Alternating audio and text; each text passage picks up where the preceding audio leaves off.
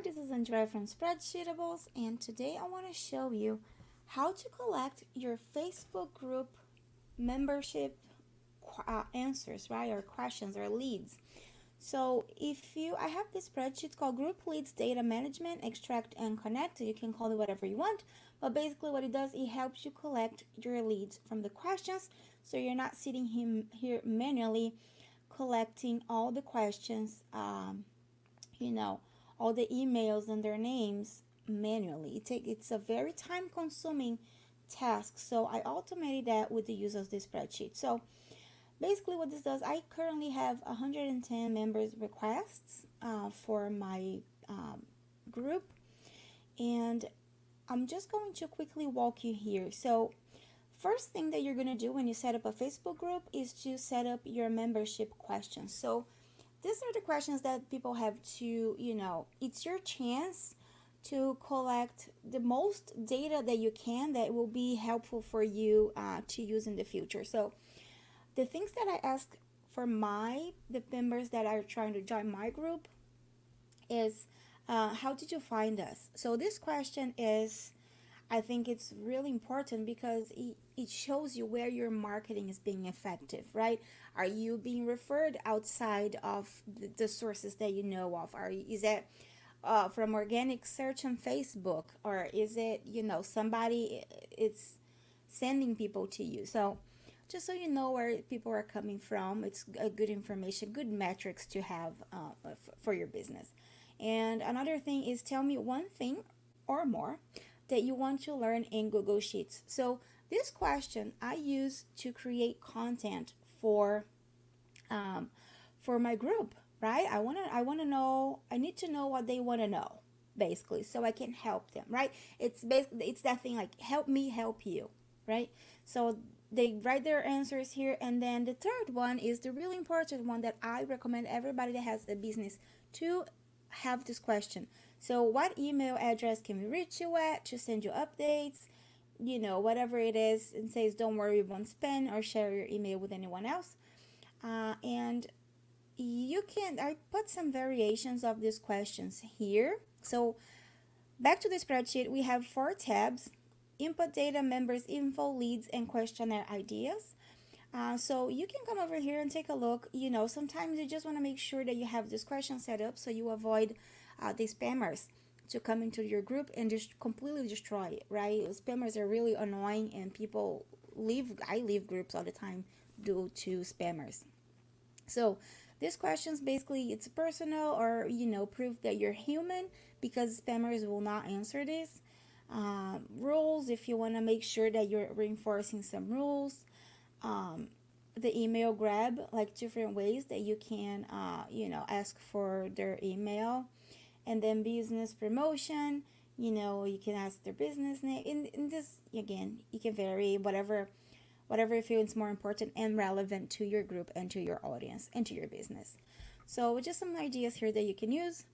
So the main tab that we're going to work with is the input data. So first thing before anything uh, you have to do step one is to copy and paste your questions right here so all you have to do, the way you set up here, you just come over here and Control C and Control V. That's it. And then you do that to number two. Double click and just paste it. So it copies the whole formatting. Double click and then paste this. And that's fine, okay? We can move this. All right. So now, and this is this step you only have to do it once. Just make sure you save the spreadsheet you know uh, it saves automatically but just make sure you remember um, not to make a new copy. That way you go back to this and you, your questions are already preset. Oh so um, next step is you're going to copy all your new members requests into the spreadsheet. So let's go back to my requests. So I have 110 and all you gotta do is start from the beginning and then you scroll down all the way to your last request. And this spreadsheet takes up to 500 requests and that should be the last one. Okay, so all you do is do Control C and then you come over here and control V. Copy and paste it just like that. Did you copy? There we go. So you copied it and then it's going to read everything and now once this is done it says calculating formulas. Now once this is done you go to your members info tab and you have all their information sorted here. You have everybody that uh, you know gave you answers. Um, so here I see that you know they come from Facebook search Facebook search Facebook search uh, accidental search Pam's group Facebook suggestion Facebook suggest Sadie Smiley's page email that somebody else sent I don't understand this one um, Facebook recommendations okay so and then here I have, um, this is my question too. So it says, you know, the question that says, tell me one thing or more that you want to learn. And here I have the content for my group all here. So I know that I have, you know, I could make it emails, creating dashboards or VLOOKUPs, data entry, you know, all of this. So this is great content. And here I have their email. But now the beauty of this is the third tab which is your leads tab. So you have everybody in here. It's sorted all of them by the emails, first name, last name. All you're gonna do is copy this and then enter in your um, service provider. I use, uh, I used to use, not I don't use anymore, but uh, MailerLite, and you can sign up over here. Now I use Funnel Gorgeous, and I, they have their whole email uh, marketing inside of the Funnel Gorgeous. But um, but that's what you can do here. So just copy and paste all your leads in there and, um, you know, just map the fields in there and just, you know, it will pick up uh, the emails, their first name and last name. You just got to map, map them.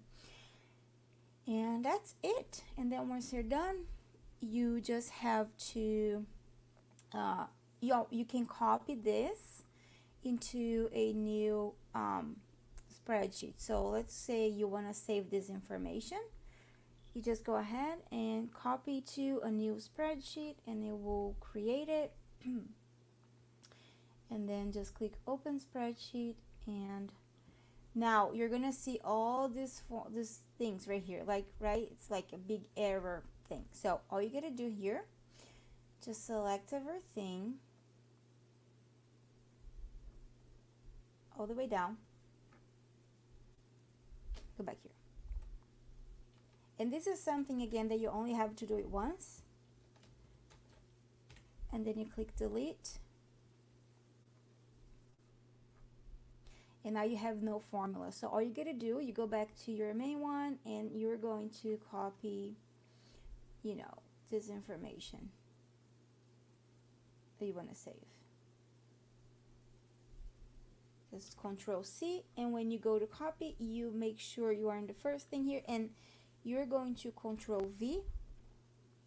But then you see down here just click this and click va paste values only so now you have their information and you can do the same for this just go ahead and then you can click copy to uh, existing spreadsheet because now you already created it make sure you name this before